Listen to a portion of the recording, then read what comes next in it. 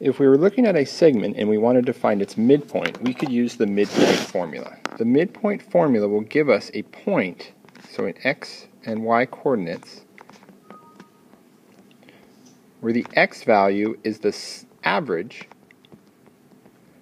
of the x values from the endpoints, so that'd be x1 plus x2 over 2, and the average of the y values from the coordinates for the endpoints. That would be y1 plus y2 over 2. This is our midpoint formula. So anytime we have a segment on a graph, we can use this formula to help us find the midpoint.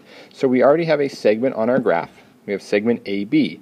If we wanted to find the midpoint, we could even label our points x1, y1, x2, y2, and plug them into our formula.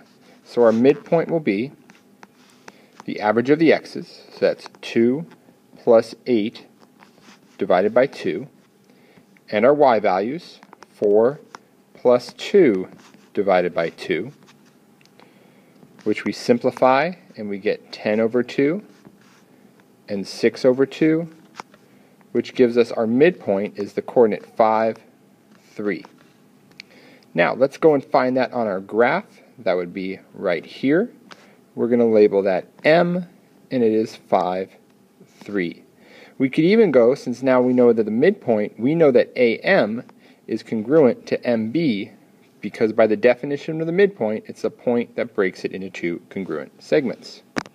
Let's look at another one. Now we have points C and D. Again, we're going to use our midpoint formula which gives us the coordinates for the midpoint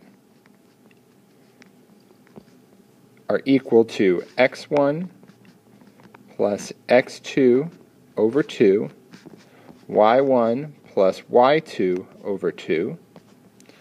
Plug in the values we have for C and D. We get that 4 plus 6 over 2.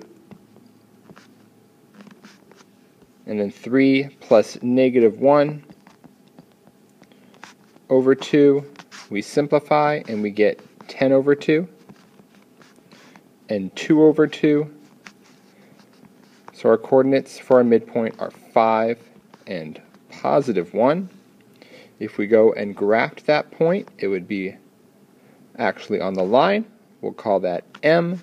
And our midpoint, again, breaks the segment into two congruent parts. CM is congruent to DM.